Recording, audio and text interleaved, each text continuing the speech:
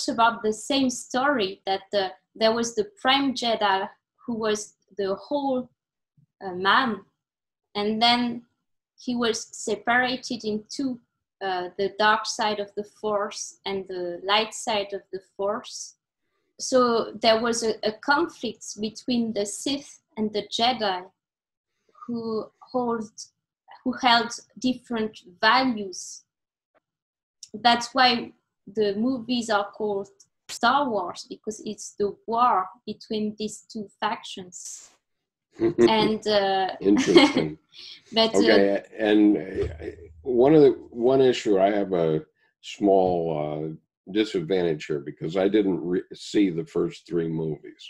Okay, or I might have seen the one the one where Anakin Skywalker is a young boy, but I didn't see all three. I don't think, and so I never really saw how the the Sith were um, were presented in those first in episodes one through three.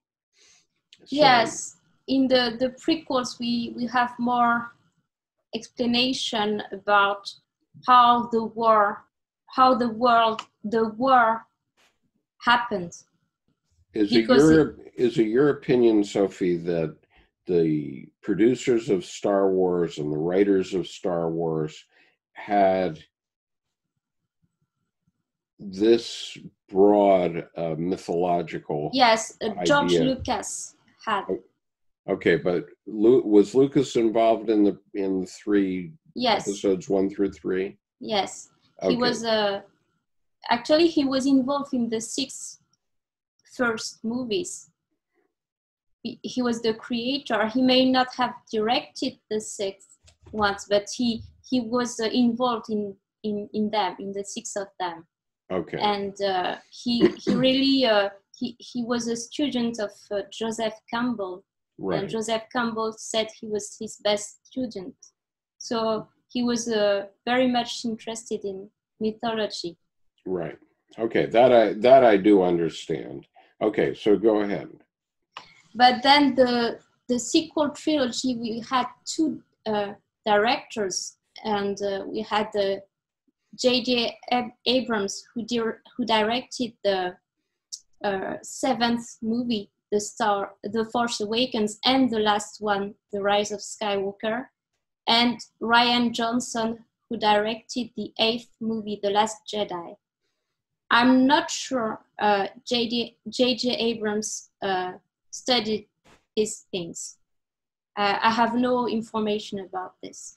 Okay. so you- However, yeah. Okay. however, uh, Rian Jos- Johnson studied Jungian psychology. Okay. Um, and so he was the director of the eighth movie. Yes, he, he, he did not study in university, but he, he did some preparation. He read some books about uh, and listened to lectures about uh, Jungian psychology. As you know, I wouldn't criticize anybody like that since that's how I am. and I, I probably you are. Did you ever take any courses in this in university? No, never. I studied IT in university. You studied IT, I see. Okay. so you and I had this exchange a few weeks ago where you were very excited to see the rise of Skywalker. And then the night before I was to see it, you said you're not going to see it because you had a spoiler happen. You you saw a spoiler and the Uh, movie intentionally. Uh, yeah you you intentionally were not going to see it because you you'd seen a spoiler in the No. I, I wanted to say that I was in, intentionally uh, looking for spoilers. So it was not accidental. Oh, okay. All right. so so you were intentionally looking for spoilers, and when you found them, you were so turned off by the result in the last movie that you said to me you weren't going to see it. So I said, hmm, okay. So I was going to see it the next day, and I came out of the movie pretty excited because I actually liked the movie and liked the ending. And so I wonder if you would explain why you were upset about it, and then I can talk about why I liked it. Yes, uh, actually, there are s- several reasons. So I, ha- I have seen the movie later Yes. when I've been able to recover from uh, uh, my trauma, my shocked. disappointment, and Yeah. so I, I was more able to go with a, an analytical mind, uh, see the, the movie with my father. and uh, so I can say what I liked about it. It was it that it was entertaining, and I think that for someone who is not attached to the characters and who just want to have fun, he may like the movie. But if you care about the myth and the character's psychology and um, the depiction of the internal uh, struggle of the characters, then you may not like the movie. Okay, and and so what were the aspects of it that you didn't like? Fir- First, I um, uh, the reason why I, I uh, wanted I wanted to know one thing about the movie before I, I uh, saw it. I wanted to know if uh, if uh, uh, Kylo Ren die, would die or not. So that was the only thing I wanted to know before I, I see the movie. So the I intentionally went on uh, Twitter and social networks because I wanted to know if, if uh, he was going to die or not. So when I learned what happened, so of course it was a, a shock, but it's not only his death, but it's how it happened and what happened next that was so heartbreaking. And Okay, so explain what happened that was heartbreaking. yes, first, only the fact of his death is uh, quite tragic because he was the last descendant of the Skywalker family. It means that the whole family's uh, story is a tragedy. So why was go through the the uh, ancestors because I don't I'm not quite connecting up why he was the last of the Skywalkers. So the the first uh, person we know of the family i- the, um, is uh, Shmi Skywalker, who was An- uh, Anakin Skywalker's mother, Okay. and she was she had the uh, virgin birth of Anakin Skywalker. So he she Anakin didn't have a father. We don't know. Uh, uh, how what, how it happened, but it's similar to what uh, how uh, Jesus was uh, conceived in the uh, Gospels. Uh, Ah, interesting. Okay. and then, so Anakin, So Ana- so Anakin Skywalker was born of a virgin birth. Is that yes, Okay. that I had missed entirely. I'm going to have to go back and look at these things now. Go ahead. then Anakin married uh, Padme Amid- Amidala. Yes. This, the first she was a queen, then a senator, Mhm. and they so they had twins, uh, Luke and Leia. Uh, Luke uh, remained uh, single and without child, and Leia married uh, uh, Han Solo and had uh, a child who was Ben Solo, who then became Kylo Ren. Okay. All right. Uh, so I've got it. So there, and Rey, what is her ancestry? Just to clarify. Well, before the rise of Skywalker, she didn't have a famous. Uh, oh, okay. Right. Okay. but then, when the rise of Skywalker came out, they that was another disappointment to me. They said that the Senator Palpatine, the Emperor, was her grandfather, but he it came like out of nowhere because there was no uh, in, no signs about it in the previous two movies. okay. And so, uh, so the emperor was her grandfather, and who was her father then, or mother?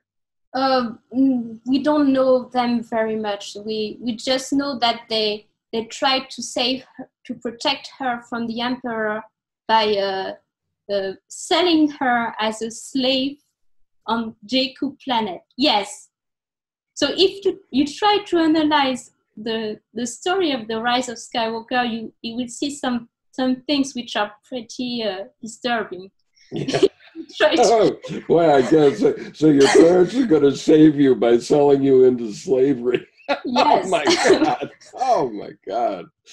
Uh, so Okay. in the previous movie, we the the other explanation we had is that they sold they sold her into slavery, but because they were drunk drunk uh, alcoholic who needed money. So in the previous movie, I, I'm sorry, I did not understand what you said. in the previous movie, in the eighth movie, right. we had another uh, explanation about Rey's uh, parents, and uh, the, they were they were not um, uh, related to Palpatine. But what the explanation we had was that they sold Rey into slavery because they were al- alcoholic who needed money. Oh my goodness. Okay. And so the message of the previous movie was that Rey uh, had no uh, famous ancestor, and she was uh, they they said a nobody, but she had to become uh, whoever she decided to become. I that's- see. The lesson that uh, you don't have to to, uh, to have a powerful uh, Jedi ancestor to be a powerful Jedi yourself. Okay. And do we know anything about the the emperor at all? Where he came from? Yes, if in the pre- prequels it is, uh, we see him become the emperor. Uh, we see that he was a senate a senator of the planet of Naboo, like uh, Padme. Uh, Okay. and uh, so he was playing uh, he was a double agent he was a senator in the republic and he was a sith lord and uh, Okay. he was the one who created the war by his uh, his uh, machiavellic uh, uh, uh, schemes Okay. So he was a Machiavellian senator yeah who, who came from the same planet as Anakin's mother, or is it, Uh, or no, wife. Anakin's wife. yes Very complicated. okay, uh, we're gonna we're, we can work through that uh, again, you and I.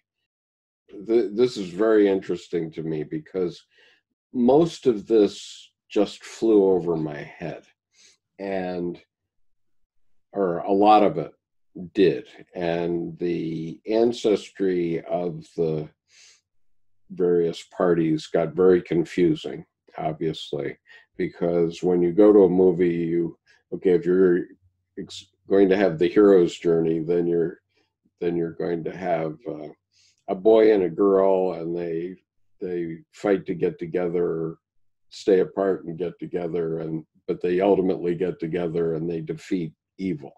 Okay that that's sort of the the pattern. It's more complicated than that. There are a number of videos on the hero's journey on YouTube. yes But, but it's mostly the hero's journey. And obviously, I think, and a lot of people think, that the hero's journey is too superficial and it has misled a lot of people because really we have the journey of our entire species. And as you in, indicated from Plato's Symposium, um, there are issues that have been around for a very, very long time. And I found, I had never read that passage that I read in this conversation before. And it really relates to the entire, well, it relates to the round of life, but it also re, it relates to the spirit going through us. And one of the important quotes from Dr. Jung is we don't know where the spirit is going. And the problem with our religions is that they're constantly looking back to the Pentecost, which was a new type of consciousness developing at the beginning of Christianity, I guess 40 days after the death of Christ from then on. And we've been through an entire 2,000 year cycle with that, but now we have a new day of understanding uh, of consciousness dawning. And it seems to me that's what we can now see in the Star Wars movies if we look at it in the in the big context, um, which wasn't wasn't visible necessarily before. So, Sophie, what would you have liked to have seen happen at the end? Okay, because yeah. go ahead. Um, I needed to to um, explain more why the fact that the Skywalker family, how it ended, is so tragic. Is uh, when you watch the prequel prequel trilogy, you see Anakin Skywalker fall to the dark side, and this is the, this is the the tragedy of Star Wars, and we were what was expected is that Kylo Ren would Ben Solo would heal the heal the, the great, split the great disease of the great tragedy of the family. And in a way he did because he gave his life to the woman he loved which is the opposite that what anakin did. Anakin was more possessive with his wife. He was afraid of losing her. So he uh, not directly but in, indirectly killed her. He because he want he was so afraid that he would be separated from her. So in a way he he did the opposite of what his grandfather did.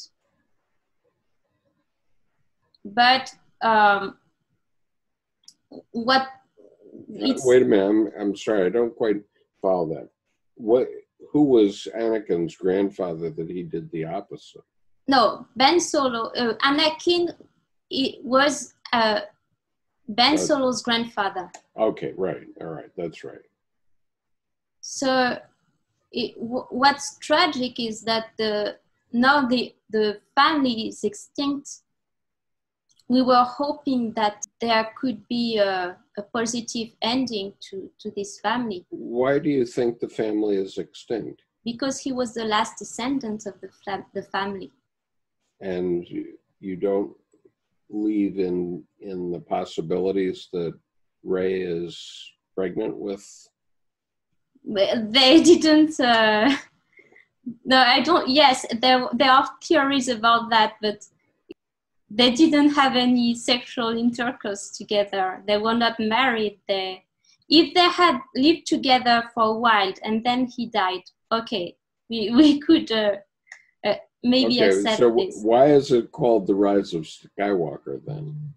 Yes, that's that's the problem. We we don't know why they chose this title, and there are rumors that the the movie has been changed the story of the movies has been changed a lot editing period i don't know if it's true but maybe they decided some important part of the plot at last minute okay well let me posit a different idea then i mean you you wanted to see the manifestation of the healing of the split.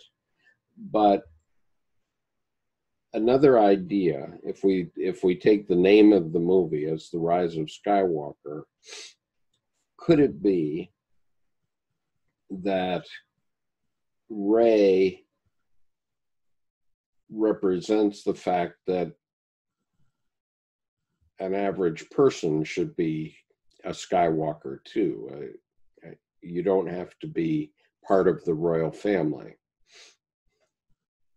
yes, but you don't have to be the part of the royal family of of good or of evil. Right. Actually, the the family is both good and evil. We yeah, can say. we all we all are good and evil. We know that. uh, I, yes, there, there are several people who have talked about this issue uh, on the internet, and mm-hmm. I, I agree with with what they they say is that Rey had no attachment to the name Skywalker. She could have she uh, didn't like Luke Skywalker. She did not get along with him. Yeah. Uh, she she got along with Leia, but Leia, her name was not Skywalker, it was Organa. And also she she was in love with Ben Solo. So Solo so she could have chosen Organa or Solo, but she chose Skywalker, which had no emotional meaning to her. Think that uh, it's to please fans that they chose Skywalker and it's not, it has no relevance to the story. Well, it certainly has relevance to the story because otherwise we wouldn't be talking about it here. yeah.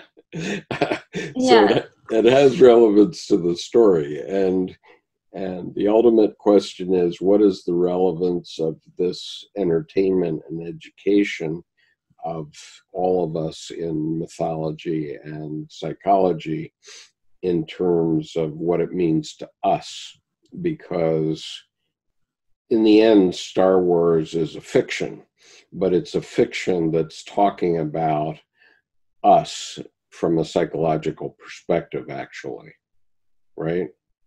Yes I, I agree with this and that's why i was upset because it had so much potential it could have been much better uh, with little effort. So that's that that's the upsetting thing about it because uh, the story that it was telling was extremely important, and uh, it was the the story of what you read, the story of the soulmates of uh, Aristophanes. of course, you and I know that now. Yeah. And and so the very fact that we're having this conversation, Sophie, means that the next story can be better and will be better. And uh, writers of the next story will hear about this conversation and they'll write it differently. And uh, as a, also, uh, one important thing that I wanted to say is we we see that the dyad represents love, which is the union of the two halves right. into a, a single uh, individual, a single man. The very strange thing is that in the movie, Palpatine, the emperor, he became stronger by uh, by um, by, by uh, hate, right? Yes by um, he, actually he, he might he's the representation of hate himself. Right. And he became stronger by taking the force of love. He used the force of love to gain his strength back. Right. and it's it's so strange as a message but isn't that what yin and yang does? Okay as as yang becomes yin yin then becomes yang. And enantiodromia yes enantiodromia the tendency to turn into the opposite right? Okay w- would you allow me the uh, would you allow me to explain why i liked the ending very well, or, yes. like the Rise of Skywalker. So one of the most significant and basic ideas that comes out of Jungian psychology is the conjunctio. As you rightly said, the the issue is conjunctio. in this. And conjunctio means the conjunction of the opposites. But the fundamental issue is that the opposites can never get together. Okay, they, they never can get together. And so the Taoists recognized that long ago when they made the yin yang symbol and recognized that there it's not a still picture. It's actually a moving picture and it's actually multi-layered which most people don't know about but let me just quickly show a yin yang here. And i want to show you the layers this is a layered yin yang symbol which shows that there are layers beneath layers and so good and evil is not just one dyad it's many dyads throughout our psyche and uh, there's another one. And also the concept that this is a symbol that's in motion. It's either going clockwise or counterclockwise, depending on how you think about it. Let me give you another sense because I, I really want to get the overall picture here. So it's really more like this that everything is divided up into a yin and a yang. And so there are many things that are in our psyches, th- literally thousands. This only uh, represents one. And so it's in, these dyads are interacting all of the time. And so, as you can see, you have the sun and the moon here but you have black stones and white stones that are piled and that sort of thing.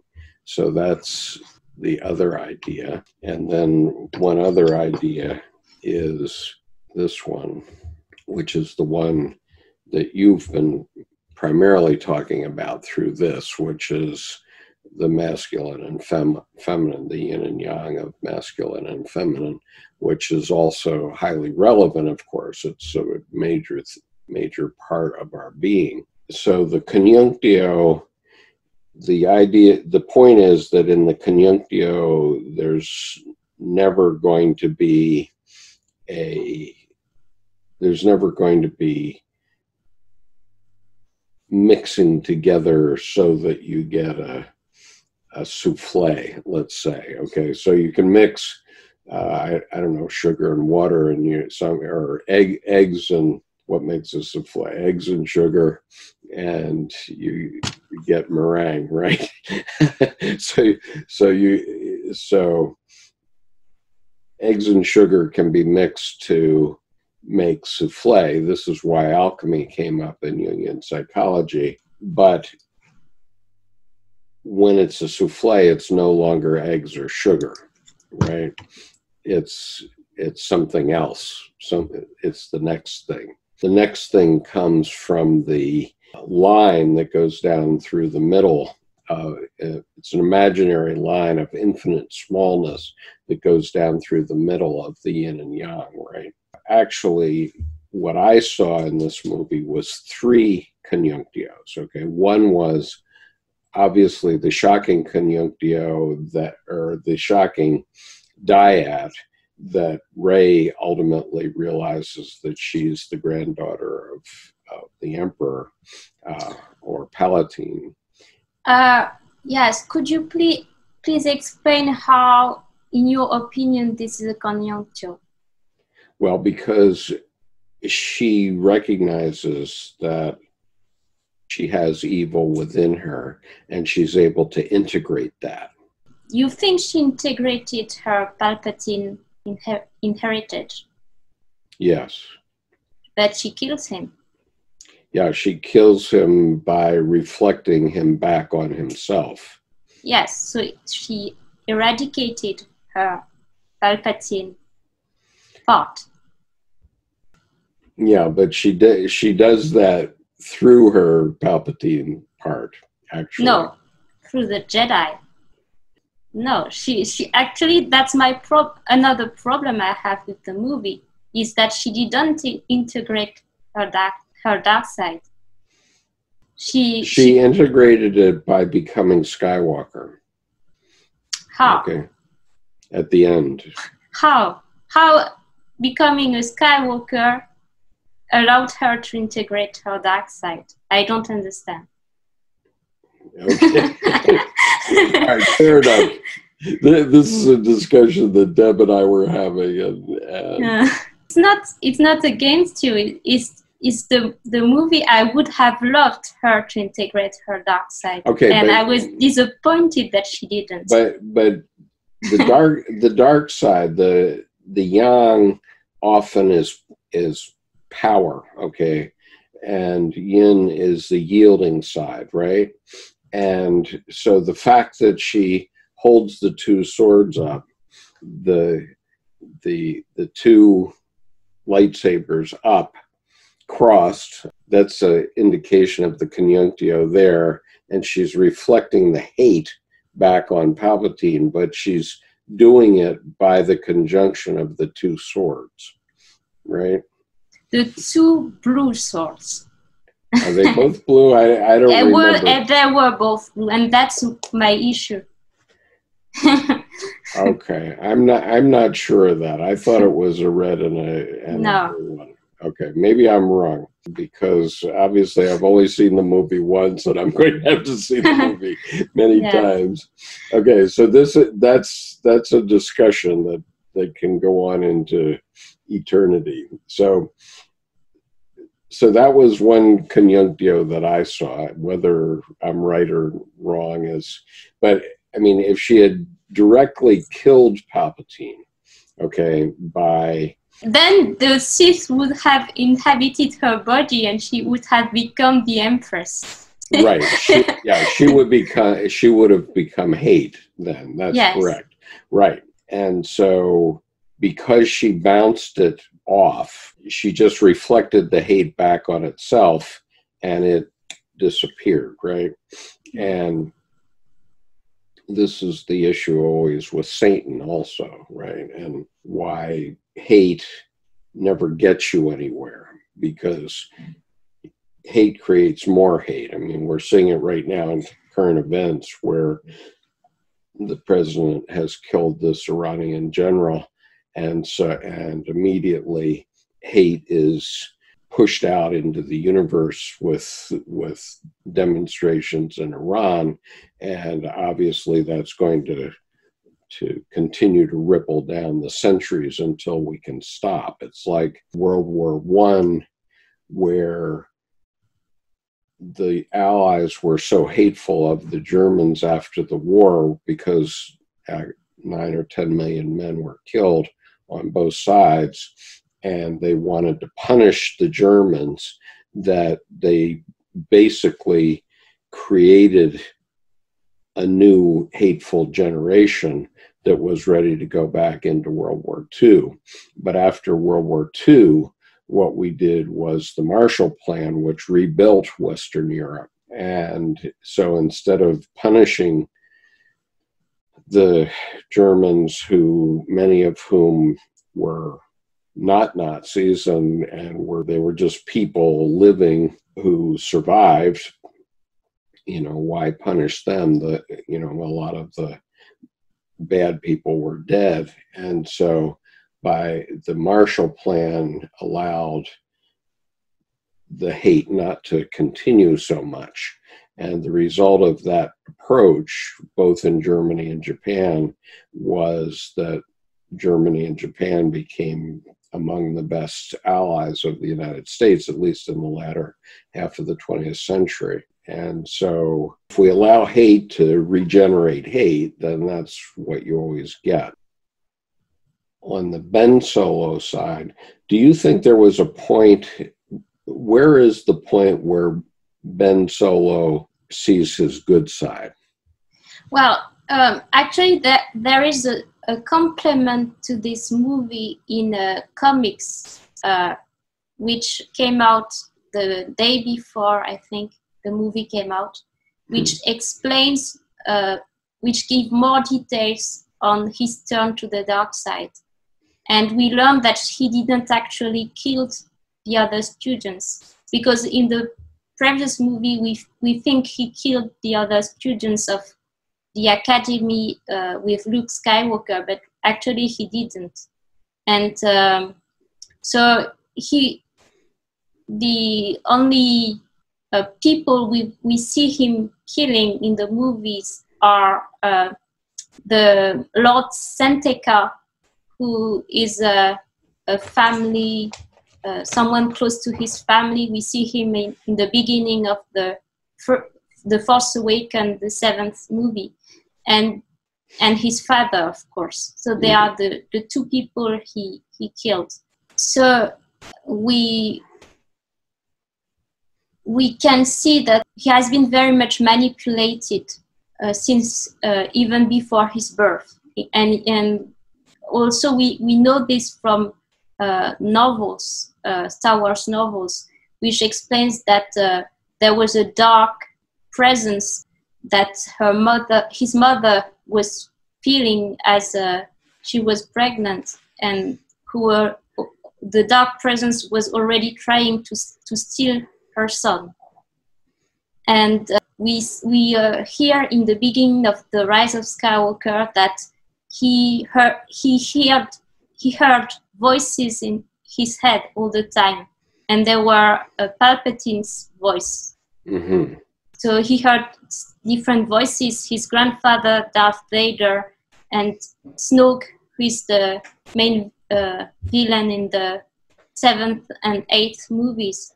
And actually, they were all Palpatine tra- yeah. trying to manipulate him. I see, yes.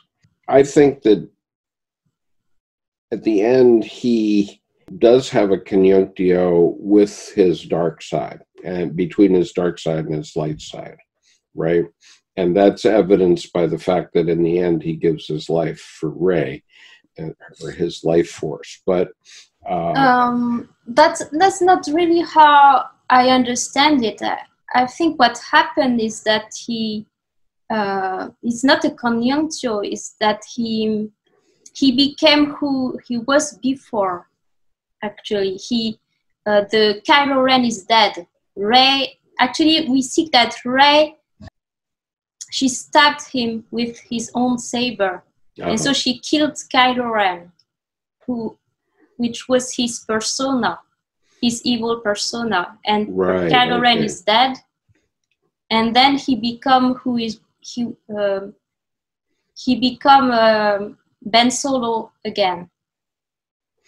Okay, I mean that that's a fair enough analysis. I could I'd never took it that far, and and so you're you're way ahead of me on these on a lot of this stuff, but which is very interesting, and I'm sure this interview is going to be very interesting to people. But I thought the ending was quite beautiful in the sense that first of all, Rey gives her life for Ben Solo. Okay. Right. Uh, it's the other yeah. way around. No, no, she's killed.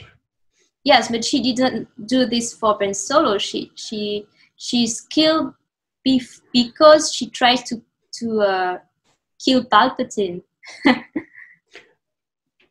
right, she killed Palpatine, but and she died by because of this because the because of her fight with Palpatine.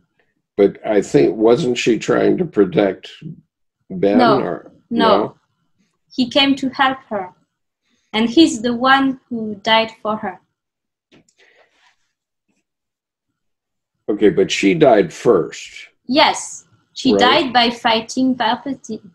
Okay, sorry, I only saw the movie. I saw the movie once, and you must have a better memory about it than I do. Where was Kylo Ren or Ben Solo at the time that she was fighting Palpatine? In a pit.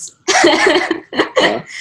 he actually what happened is that first she she came to Palpatine and she, he propo- she he um, invited her to kill him so the Sith would inhabit her body her body and she would become the empress but Rey refuses and he says you have no family and we and one important character trait of Rey is that he she wanted to have a family and she felt alone. So it's her main her main wound is that she felt alone. And then when when he says this, you, you have a, a Ben Solo who, who, who arrives, and they have this force connection by the, uh, through their minds. And he he already uh, had turned to the light side, so he he was already uh, Ben Solo again. So they have this uh, mind connection, this force bond, as they are called. So she's relieved because she's not alone anymore. And uh, she's sending him uh, his mother's saber, which is blue. And so she, he, she's able to send the saber through their force connection. And he has the saber and he, he's able to kill uh, his uh, previous knights uh, because they are now against him as, as he has turned to the light side. So he fight against them, and then he he come to where is Rey.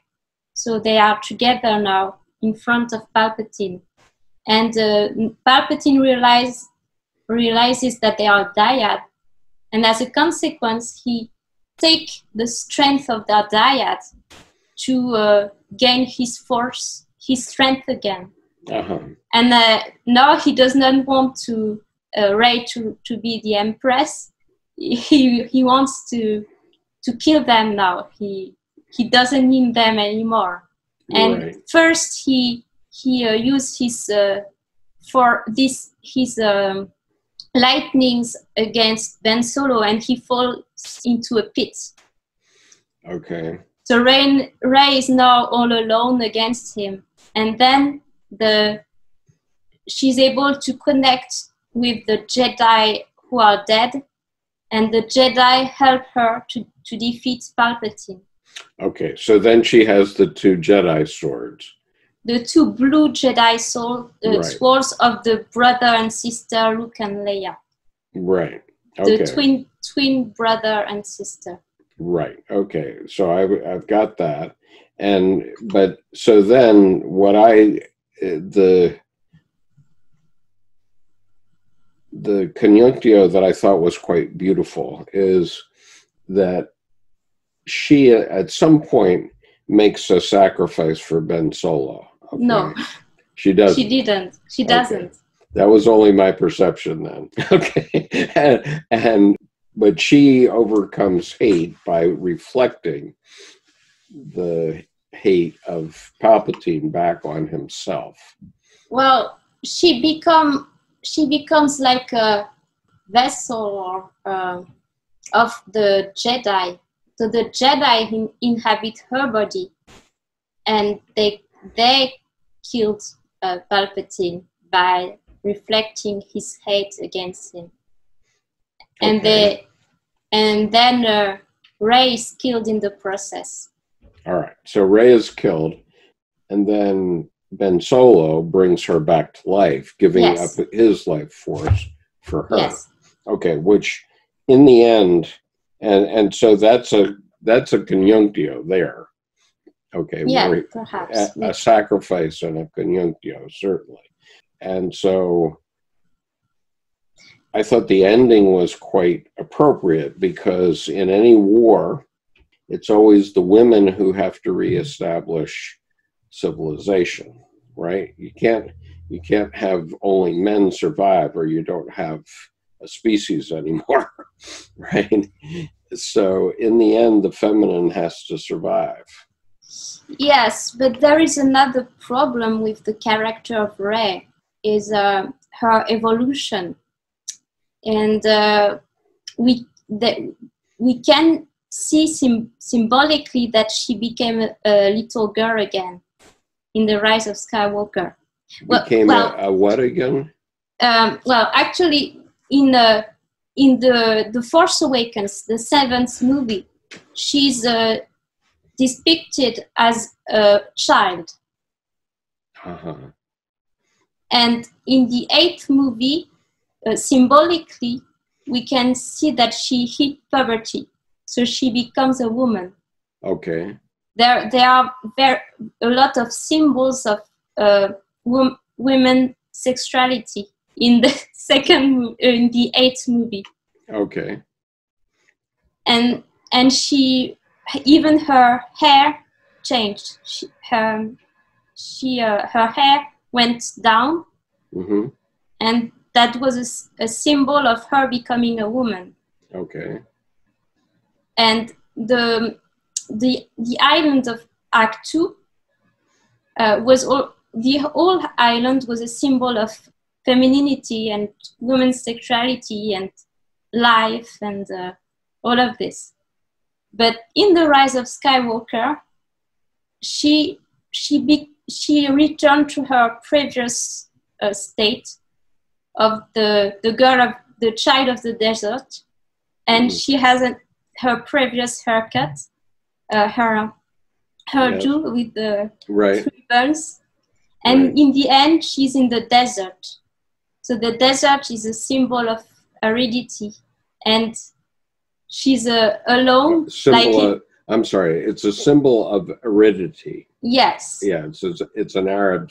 It, it's an arid state within the psyche. Yes. yes, Okay. And- and and that of course refers back to the Red Book and and Dr. Jung's whole piece about the desert and being lost Yes. in the desert. Okay. Go ahead. and and she she's back in like she was in the seventh movie because she can come from the desert and uh, she she she's the the girl in the desert who's been abandoned and who feels alone Right. So now she has to find a new soulmate. yes but it's not so simple no, it's not so simple in the desert. Uh, that's that's true, but then then you have to put um, And- you and, have to uh, water the desert. In the end, we have the feminine principle, who's lost her man. So she she's again uh, a half, no soulmate, alive anyway, and she's therefore lost in the desert, which is a psychological state, right? And it refers back to the Red Book and, and the desert portion of the Red Book. But that's the round of life, right? I mean, the round of life is that if you're going to have these constant wars, uh, it's always the feminine that puts civilization back together again in the end okay because so what for example so many men were killed in germany and france during world war one. And what happened was that the women then delivered a new generation of men who then fought again in world war two. You know so the women put the civilization back again but the first time it was with all the hatred with the treaty of versailles which was very punishing on the german people and terribly pu- punishing on the german people most of whom hadn't been responsible for the wars anyway because there were tens of millions of Germans, but not all of them fought. And the same with the French, but the Allies at the end of World War One thought it would be a good idea to punish the German nation. And so that's what happened with the Treaty of Versailles. It was very punitive. But in the end of World War II, it was realized that that had really created World War II. And so they took another approach at the end of World War II. At least that's my observation about it. But I was satisfied at the end that Rey, as the feminine principle, was the survivor and walking off into the sunset toward a new life, let's say, or sunrise. I don't know whether it was a sunrise or a sunset, but there were two suns oh, there the were two. sun- binary sense, which is a, a very famous uh, sim- symbol in Star Wars. Uh, Right. And it represents the twins, brother and sister, Luke and Leia. Ah, okay.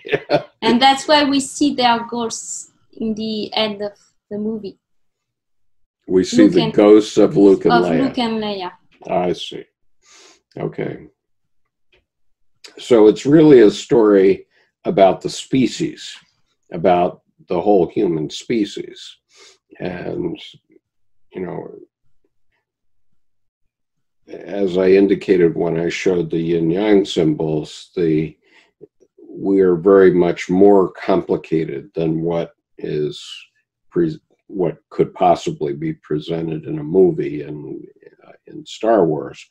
But I think it seems to me that the overall the producers over the 40 year period have done a pretty good job of of providing kind of an education uh, for the species. And that and it's through movies and and various other forms that we learn today. I mean we don't learn in school anymore really. It's very hard to learn in school these days and, and lots of things we should learn in school aren't anymore they're learned in other ways. From my perspective uh, it, as a you know i always think of the imagery that comes up in the psyche in my psyche and as i've said many times as you know that when something is happening to me i'll have a a scene from a movie including the dialogue pop up in my head. And that's my psyche telling me this is that kind of situation pay attention to it it's all the genres of movies, not only Star Wars, but all movies. And I've probably seen 3,000 movies or maybe 4,000 in my lifetime. But, and today we're all looking at television programs and movies almost all the time and so that's how it works while we're while we can be disappointed and you you rightfully can be disappointed that the ending that you had hoped would happen didn't happen.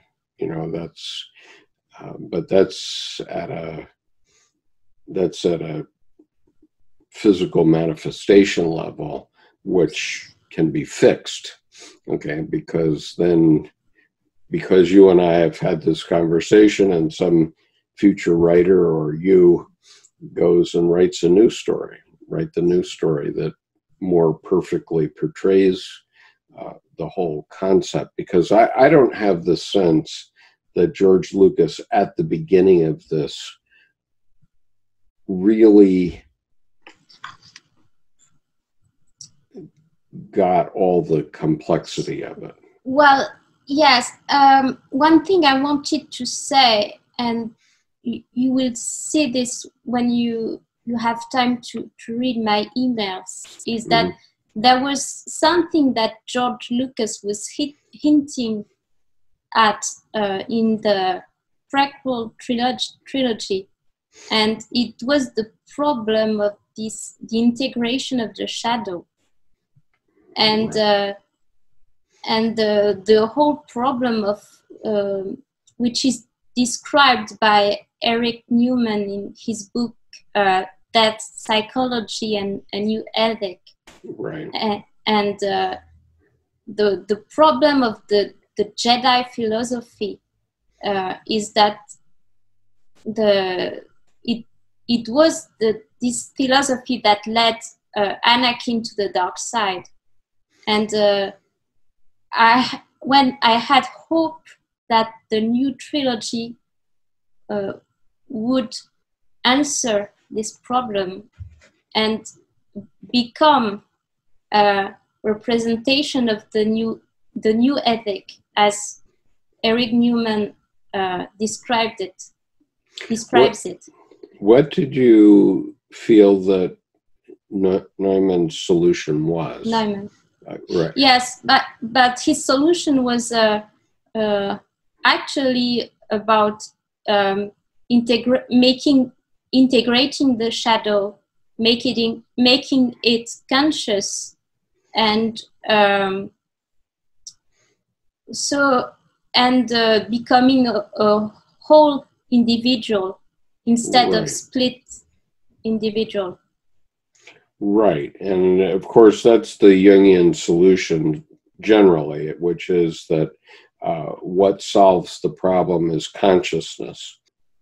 Edinger, when he was talking about individuation in his talk that can be found on YouTube, he's talking about the new uh, individuation, the new myth, uh, or something like the new myth. He he talks about individuation and the need to go through these steps.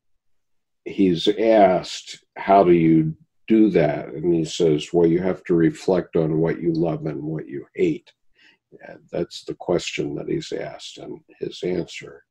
And one of the things that uh, is a piece of advice that I think we ought to pass along is that you shouldn't try to start the individuation process too young.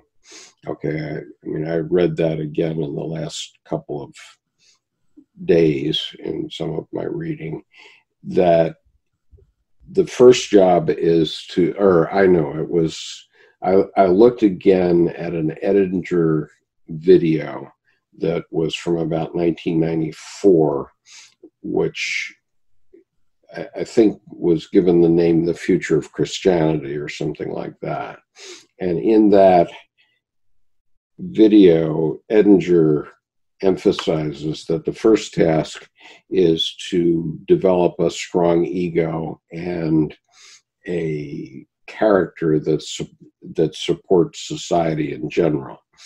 And once you have that developed and it has to develop anew in each human being, then it's possible then you begin on the individuation quest. I don't think that's the hero's journey. The hero's journey is is the development of the ego it seems to me. And that you know and the the movie 4 which ends with luke skywalker getting praised in this throng of other fighters for the for the cause that's very much an ego thing right but then you have to then once you get beyond that okay so you're a hero when you're a great athlete or when you're a brilliant student or you become a Rhodes mm-hmm. Scholar or whatever that is okay that's that's the end of the hero's journey.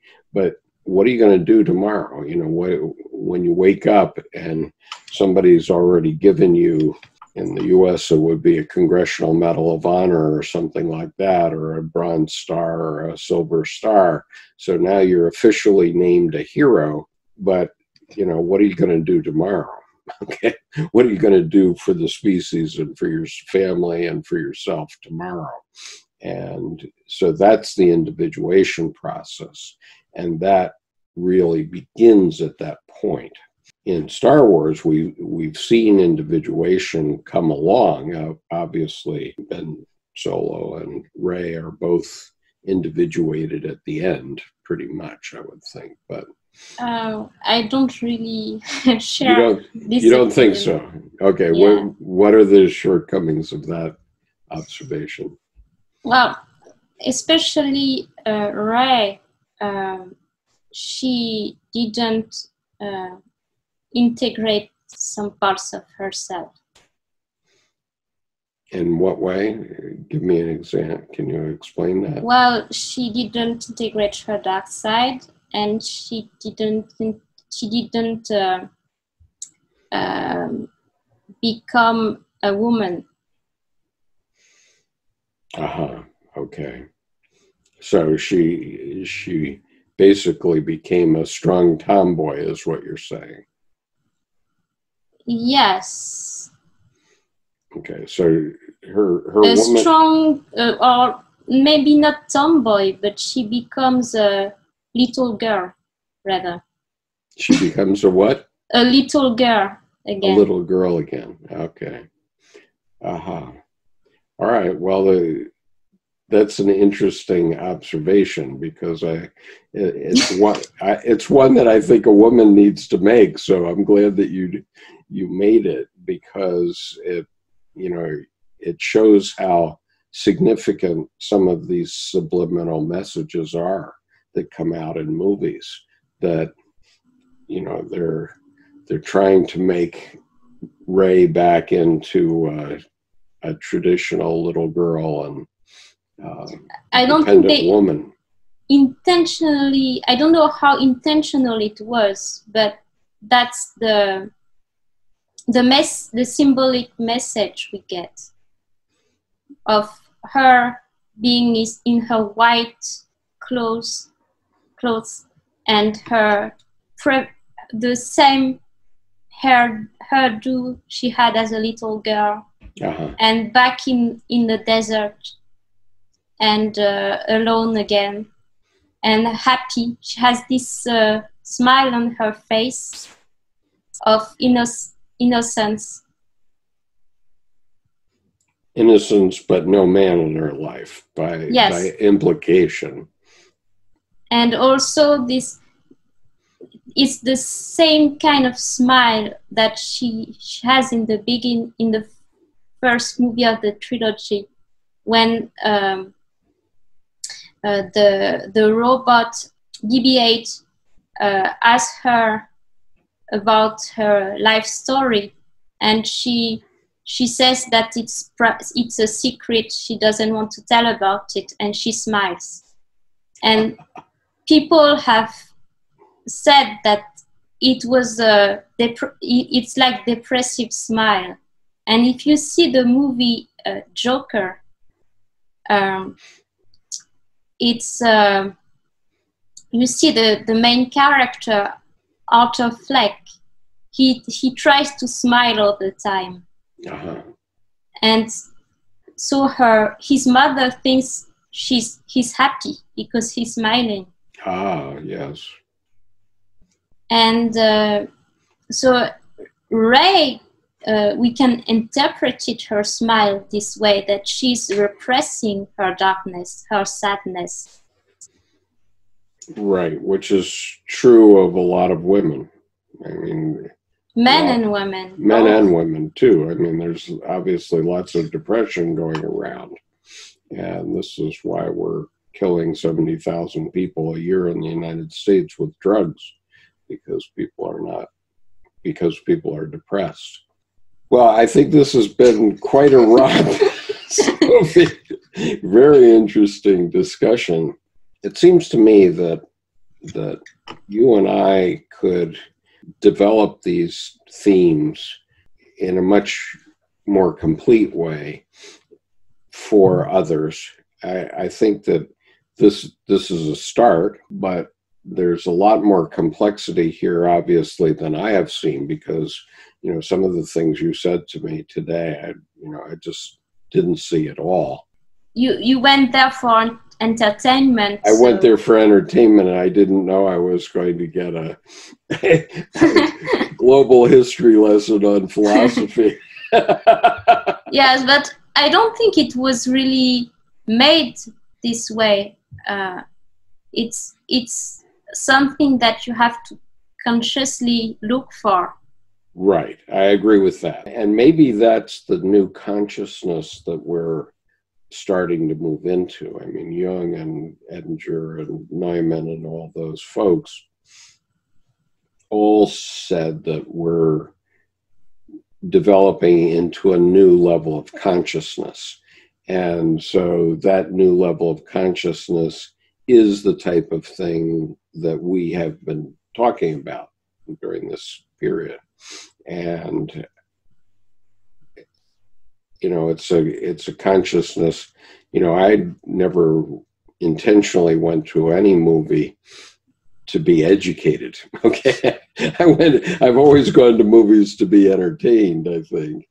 And it's only in the fullness of time that i realize that this is the way myself communicates with me. Myself takes and, this is basically what Jung said yourself takes the images that it has available to it, and those are partially hereditary, but they're partially uh, gained during a lifetime and communicates to you with through those images with dreams visions and feelings and that sort of thing. And so it's subtle and we need to understand the subtlety of it. And so for me i've experienced it now so that i know that if something comes to mind boy i better pay attention to this situation because uh, myself that's a communication from myself as opposed to my ego. And but it's important what i was saying earlier was that it's important to have a developed ego so that you can differ- differentiate between what's good good for you and good for the future and what's bad for you and bad for the future. And, yes uh, it's not something easy. It's not no it's not easy. So I think that this kind of analysis, this that we've been having today, this discussion about what this movie is, eh, or this set of movies is and should be, and should have been maybe, can can get done better in the future, not in, not necessarily in a in a further elaboration on this particular storyline, but in a new way, some new filmmaker and writer can see the importance and the significance of these sorts of ideas and then elaborate it better in the future. It'd be interesting to see how that develops in the next decade or so. Certainly in the first 10 years of after I saw Star Wars, I was only happy with it because it was entertaining.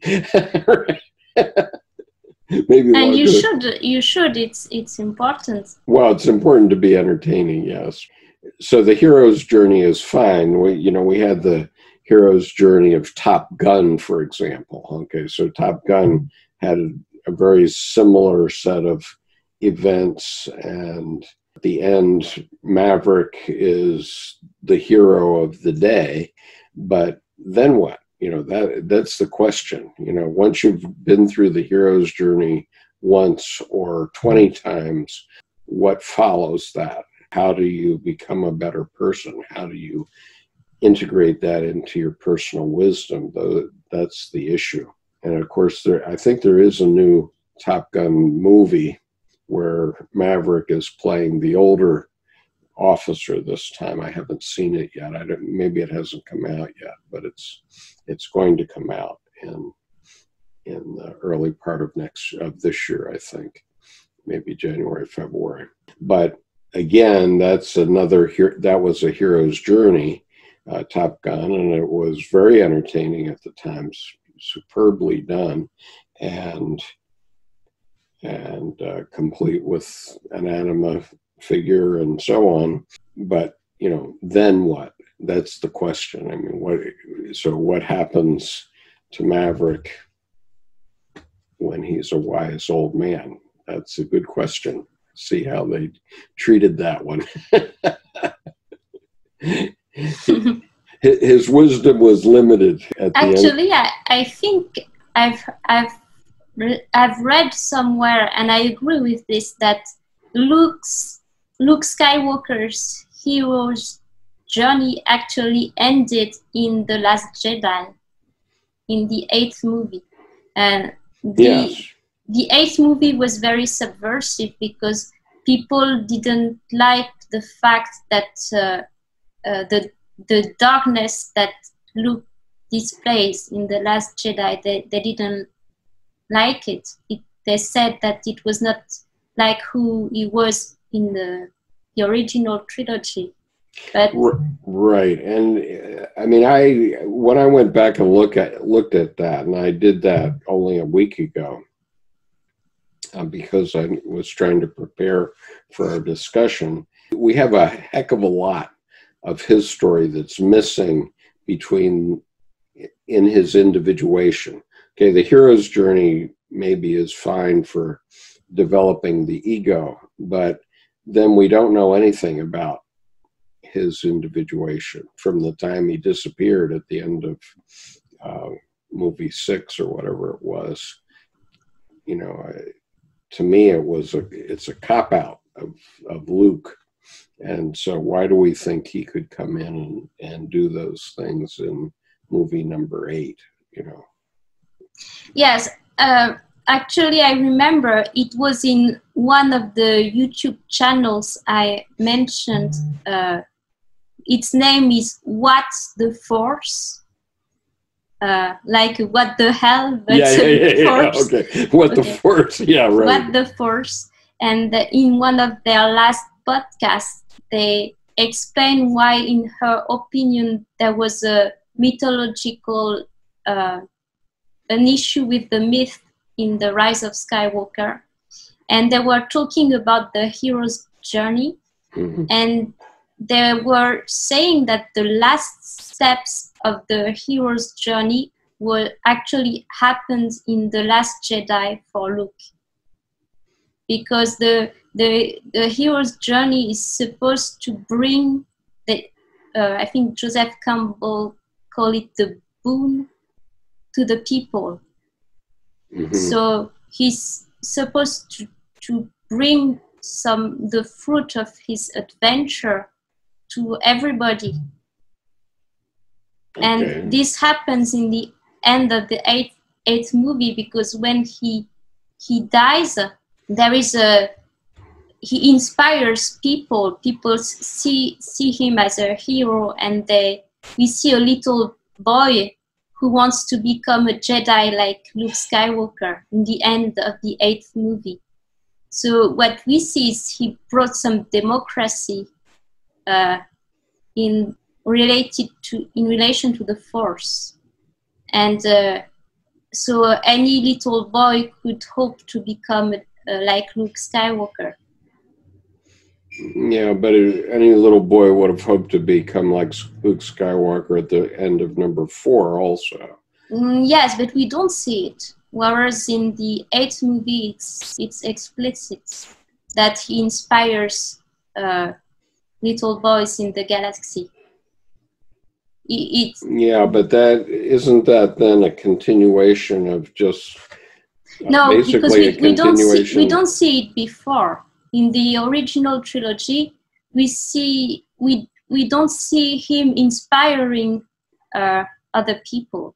Okay, it seems to me that the problem there is that he's basically in he's inspiring young men, young little boys to become heroic in the Star Wars, in the wars of good and evil, rather than uh, inspiring them to be wis- to be wise? Actually, no, because in the eighth movie we see his character becomes more, much more subtle. Uh, we see in the beginning of the movie he teaches Rey that the the the he teaches her the um, faults, the limitations of the Jedi and he and there I uh, watched a video uh, which I sent to you on the internet how uh, actually in the in the Last Jedi uh, Luke is a Taoist uh, a Tao, Taoist Taoist uh, teacher and yeah. I, I understand. I understand that he's a teacher at the end. Yes, but and he learned. He learned to uh, to see um, the problems of the, the Jedi philosophy and he learned from his failures. So he, he integrated his dark side in the eighth movie. And i think he gained true wisdom in, in the end. He, well I, I think he did too but i i i just think it's a hell of a leap from him disappearing to him being this wisdom master at the end. I mean, he he obviously is a wisdom man, master at the end, and okay, taught Rey a few things, but what we're missing is that whole. oh, you you need to to to watch again the scenes where he's teaching Rey because it's very profound. I think. Okay, I'll I'll do that. So these these are the scenes where he's teaching Rey on the island. Yes, and it's very important because he doesn't teach her how to fight. Huh. He's teaching her something much more philosophical. Okay, that's interesting. Okay, there's, I mean, I wonder if there's an aspect of Bushido there. Do you know what Bushido no. is? Bushido is uh, is the warrior code that was followed by samurai in Japan over the last 2,000 years. Um, and, you know, I, that code is is also very profound. but anyway, ob- obviously, in whatever 18 hours of movie, you can't really cover the, the completeness of of uh, mythology for the last 3,000 years. So, overall, I have to say that it's an impressive series. I did, I did find myself getting a bit bored with the model because the model ended up being a lot of sword fights, a lot of sameness to them. Uh, for example, in all the movies, there's the bar scene, uh, even if brief, with the with the various uh, aliens, which I thought I've always thought was a good scene, but you know they became somewhat formulaic, and so to the extent that they became formulaic, I think they lost the meaning which movies are, are you talking about? Um, all the the all the Star Wars movies. All the Star Wars movies have lots of sword fights, and they have lots of, uh, and they all have the bar scene. Okay, for an example is oh, the bar okay. scene. Okay, yeah, so all, it's not my favorite scene in the movies. it's not your favorite scene. Yeah. Okay. Well, it was my favorite scene in in Star Wars Four. Okay, in Episode Four, it was my favorite scene. Okay. from an entertainment point of view, and also for uh, philosophic for philosophical and and social reasons, I thought it was a terrific scene. My point is just the fact that every movie had to have that scene somehow, even though in the last movie it was very short. Here I'm quibbling, I guess, but somehow you have to keep the series interesting. And, um, you know, as I said, I, I guess I've seen one of the first three. Uh, I've seen episode one, maybe, but not episodes two and three. And it was the reason I didn't was because by that time, which that was the fourth movie that was made, uh, it had be, become rather formulaic. And so I wasn't so excited to go see the formula again, per se. Yes, if you want a good uh, sword fight, meaningful sword fight, you may find one in uh, the third, mo- third movie, uh, Revenge of the Sith. Okay. There, there is one which I I don't like uh, very much action scenes, but this one is very emotional as well. Oh, okay. All right. Well, that. So I, now I'm going to have to go back and relook it. So here, here's what I'm proposing, and I, I'll I'll send you this, but I I wrote it out on a napkin today. Okay. so I thought because of your depth of knowledge about the philosophy of these things that you and I could do a series of interviews where we expand on this a bit more.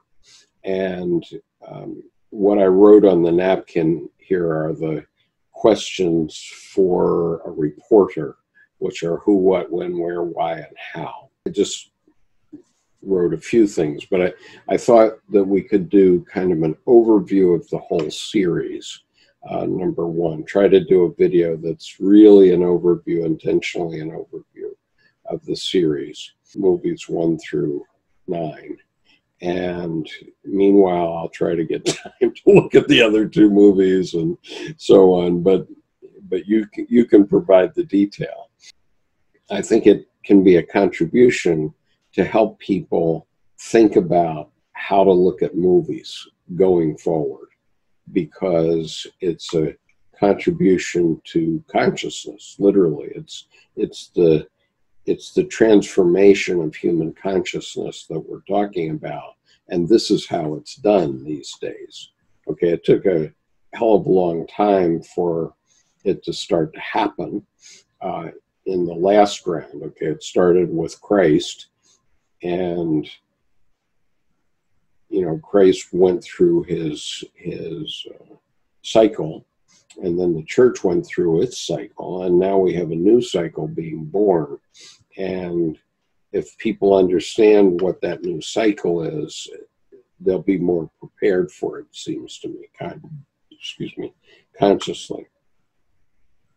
And I think that we could explain that with. Uh, with a bit more, uh, with reference to the Star Wars movies again.